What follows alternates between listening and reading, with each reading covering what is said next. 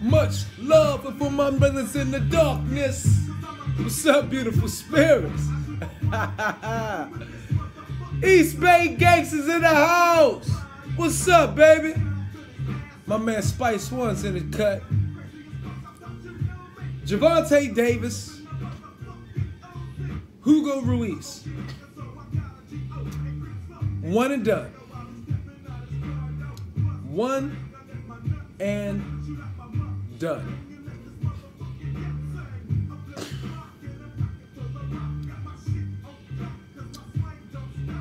When we gonna see Tank go 12 rounds? There's only been once, and it seemed like that's been a quite a long, quite a long, quite a long time. You feel me? Um, Hugo didn't do much but land a straight right. And then Tank commenced to pound, bust his nose.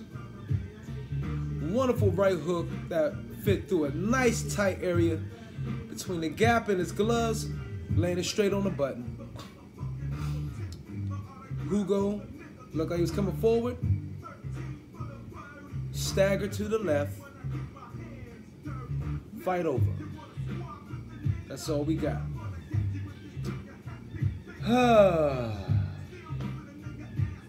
Not very much to say. Um, they say Tank gonna have two more fights this year. And hopefully, I believe he said next week he would like to have one in June. Yes. One thing I need to say about all of this. It seemed like this is a tank reboot. Doesn't it? The press run. Mayweather addressing the press, walking beside Tank after the fight was over, answering questions, going down the row of press row.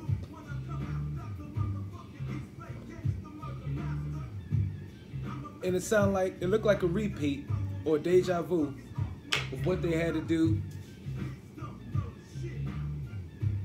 last fight, fight before that. I guess um, working through issues. One thing, they're walking tanks slow. You know, because when you get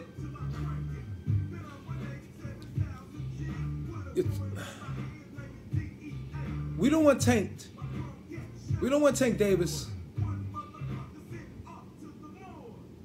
to be put in a situation like Tyson was. Tyson hit it more on a more grander scale. But Tank has become very, very, very popular amongst the boxing world. He's not a household name amongst everyone. But diehard fans, even casual fans know who Tank Davis is. And I'm talking about not the casual casual, but the casual, the next step, you know what I mean, above a regular casual. You know what I'm saying? Um, I don't believe. I believe they don't don't want they don't want Tank to move too fast. Here's how I think it's going to play out. Speculation, of course. Tank, Lomo, Tank, Farmer, Tank, Ryan Garcia. Golden Boy has Ryan Garcia. Mayweather has Tank Davis. I think that's the end game for them. Not the end end, but that's what they're building up to. Since Ryan Davis is four years younger than Tank, only 14, 15 fights in so far, and he can be the next Golden Boy. The next Golden Boy. The next American Mexican, or y'all may say Mexican American,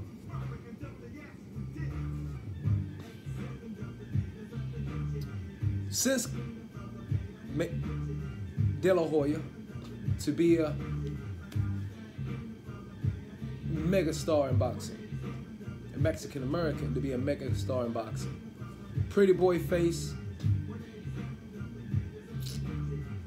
He's not going to have the Olympic gold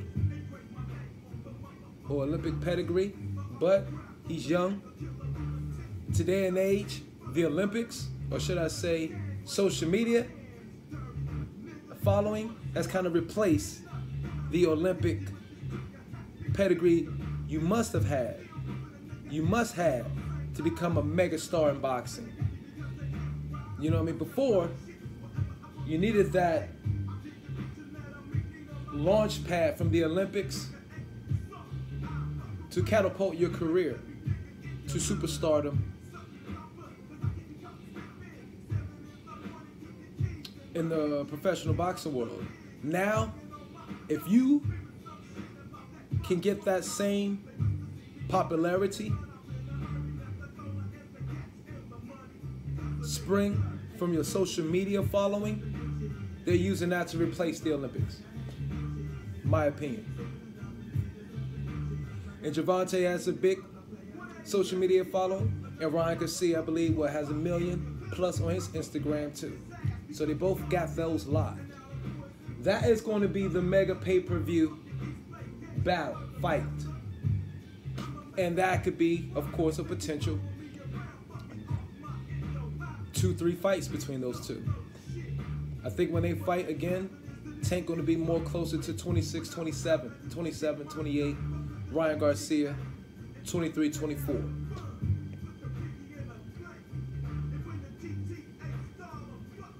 The Lomachenko, which is will be the first of the three big fights Tank in the, for Tank in the future, unless they come back and get the Abner Mares. But I believe they're gonna go Lomachenko, Farmer, Ryan Garcia, or Farmer Lomachenko, Ryan Garcia. Could be that. That's gonna be the three pay-per-view joints they want for Tank Davis. I think they're waiting for, although Farmers now, I believe, he's with the Matchroom, right? So is he fighting on DAZN? They have to work that out some way, but they can make that work. But those are going to be the paydays. And all three of them are going to be interesting. The thing is, you got Tank and Ryan at 130 now. Ryan Garcia is 5'10 at 20 years old. He's when Tank and Ryan Farmer meet up, they will be at 135. They're going to be at 135 by then. Okay? Both of them. Because Tank's going to jump up first. Ryan Garcia will come behind him take the belt or whatever that Tank probably release or going to come for later on. They might fight. So I'm not sure how they're going to do that. But I plan on them two probably going to fight at 135. They're not going to even meet each other at 130. Because it's going to be like three or four years past. Watch. Tank going to go up to fight for the 135. That's going to be the Lomachenko belt. If he was to win that, he'll have and Ryan going to fight for the belt that Tank relinquished to go up to 135, and then they're eventually going to meet at 135.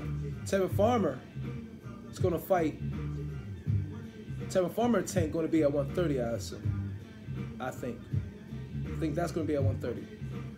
Um, and the wonderful thing is, the crazy thing is about different thing about Tevin Farmer and the Tank and you're going to hear me use this example analogy first. You have a fighter. Now, Farmer's four years older than Tank. So that's how they're trying to squeeze this gap here. You know what I'm saying? It's funny. They gap Tank is in a gap between fights. Two fighters is a little well ahead of him a little bit. And he got the the one with the big money is coming up underneath him. So it's not nobody really there in the middle. Tank can really just bank on. You know what I'm saying? it's so it's like they're trying to strategize these two, that farmer and that Lomachenko, and then for Ryan Garcia, buy time for Ryan Garcia to pull up more momentum, more following, so that could be a, a, a mega, mega huge purse fight. So that's what they're doing. Mayweather and Golden Boy are working together. A lot of people think Mayweather and De La Hoya hate each other. I honestly believe they do not. They both came un, out. They both were spinoffs of Top Rank, Bob Arum. I think they both learned how they got to work and finesse the boxing world, the casuals, on how to build a fight, and they working together as a relationship. They understand good guy, bad guy. You know what I'm saying? They understand the black fighter versus the Mexican fighter, and Mayweather, De La Hoya, Golden Boy, Mayweather Promotions play back and forth off each other as that. I think that's exactly how they did. Because remember, De La Hoya left Top Rank first. He was with Top Rank. He left, started Golden Boy. Mayweather leaves Top Rank,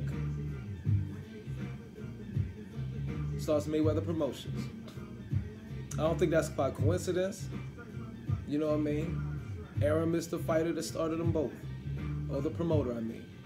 So I think those guys play off of that and use the media for that in our in the public eye to show demise, try to show animosity, try to sh- sh- show or convince everybody this is a really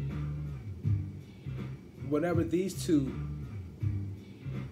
camps are going against each other, Mayweather versus the De La Hoya or the Golden Boy, this is a really a beef fight. And that's how they plan on making their money in the future off that. You know what I'm saying?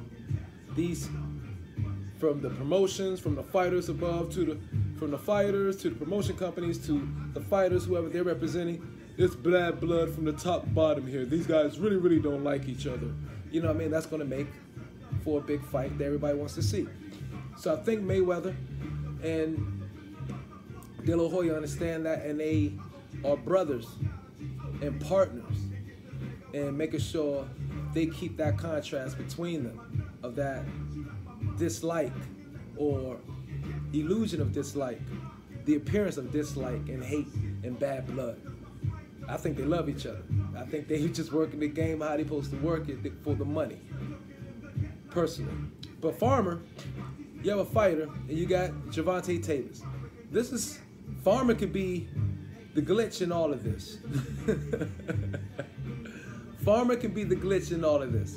Farmer doesn't have the natural power or the punching power at all close to Gervonta Davis.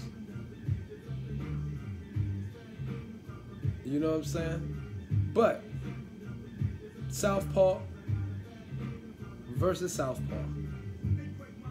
Slick versus another slick fighter. Both counter punchers. Both can initiate the attack as well.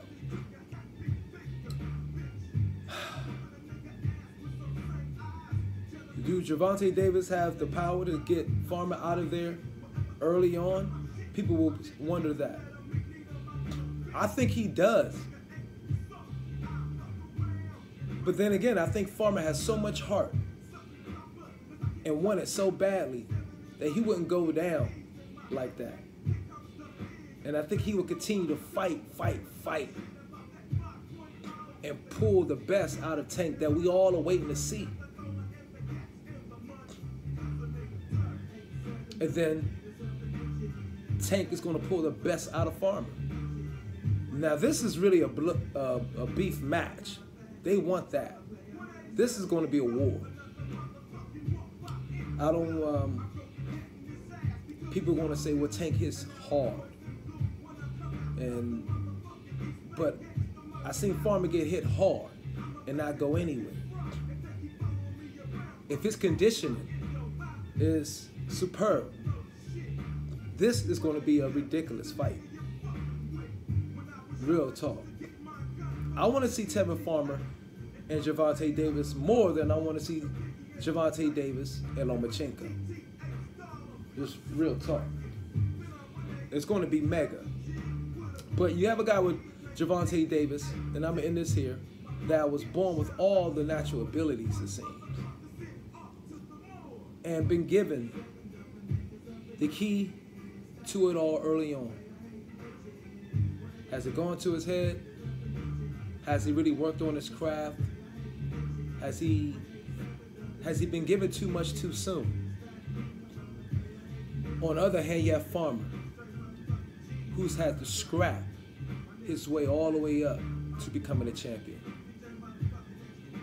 He was the last minute call in for Pedraza fight.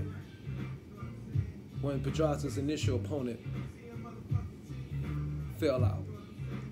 This is somebody who may not have been blessed with all the natural ability, but he has that natural instinct.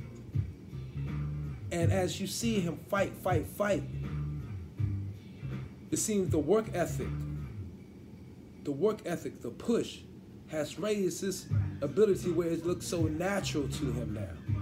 So you have a thing where you have the best, where you have somebody who's born with just all the natural abilities in Gervonta Davis, okay, that could perhaps be spoiling it because he's not getting the challenges early on that he needs to bring that level higher and higher. He was born with such a natural ability so early on that he was blowing everybody out of there. And it's a, it, you let that natural ability, you would take it for granted, I should say, and not work on it as much as you should be able to work on it to maximize that natural ability to be just completely phenomenal off this charts. Because he's looking phenomenal too soon because he's not getting no real, real challenges, kind of like Roy Jones went through early on in his career. But then you got this guy Farmer, who looked like he had four losses early on, three losses, four losses early on his career, that make that make you underestimate his ability, because those early losses was him scrapping up. He wasn't given the golden key to the city like Gervonta early on. He had to scrap, scrap, scrap, work, work, work, into where just the hard ethic work he could perhaps, that hard ethic, workability, perhaps can supersede the natural ability that this fighter has in Gervonta Davis through his work ethic, constant activity, and sheer desire. His, the work ethic drive behind this one can raise him above the wonderful, wonderful natural pure ability of this one. This thing keeps going the way we've seen it, if this keeps going the way we're seeing it, where Gervonta's getting these first round knockouts, and this crap, and this guy is fighting and scrapping, and just getting better and better and better. He wants it so bad. You're gonna see work ethic supersedes natural ability. This happens oftentimes in the world.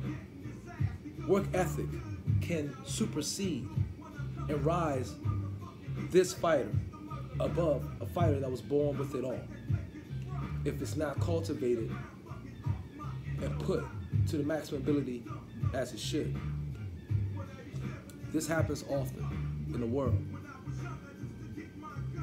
This was Bernard Hopkins and Roy Jones Jr. You feel me? Gervonta Davis is like Roy Jones Jr. Tevin Farmer reminds me of Bernard Hopkins. So it's going to be a wonderful thing to see how this thing plays out in the boxing world. This is Myron Magnus. You listen to a segment of pure pugilism, boxing logic, one love.